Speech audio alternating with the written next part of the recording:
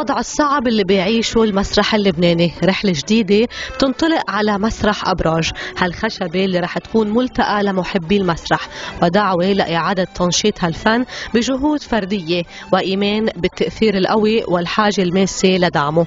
أما المشروع هو مغامرة آه، قررت خوضها.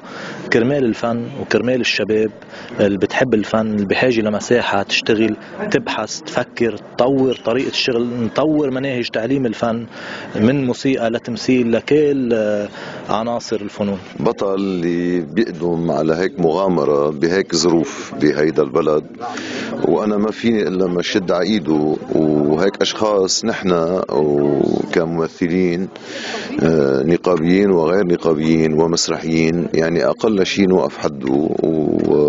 وندعمه. لأنه نحن بحاجة لأكثر من مكان ينعرض فيه مسرح وترجع بيروت مثل ما كانت رائدة المسرح العربي من أوله لآخره. عم يفتتح مسرح جديد. قدر نسمع أنه في مسارح عم بتقفل وخلص وبطل في تمويل وبطل فيهم يكفوا فكتير شيء بفرحنا وبخلينا نآمن أكثر بحالنا. أنا جدا سعيد بافتتاح مكان جديد وبيئة صالحة للفنان للمثقف للمسرحي. هالمغامرة بتأسس لمرحلة جديدة بالعروض المستمرة.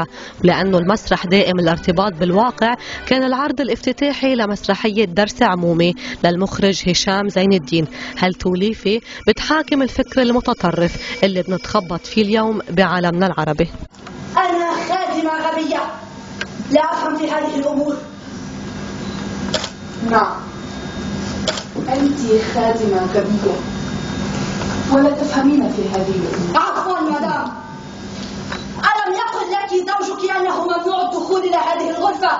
إلا بأمر من البروفيسور شخصيا. بلى. قال لي مسرحية درس عمومي هي توليفة بين مسرحيتين آه، معروفين عالميا كتير هن ترتوف لموليير والدرس ليونسكو.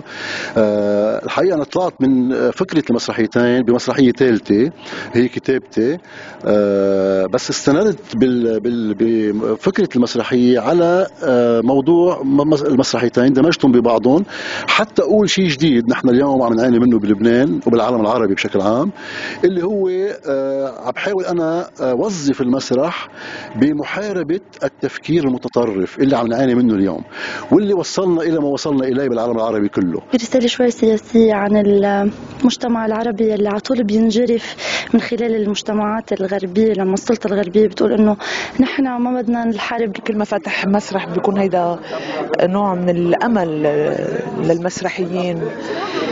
وبتمنى له كل التوفيق له لهشام لأنه خطوة جبارة واحد يعمل مسرح بلبنان أريد فورا الحصول على الدكتوراه. طبعا طبعا.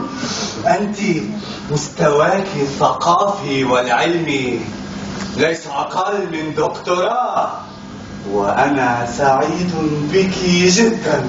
حقا بروفيسور. طبعا. أنت عبقرية.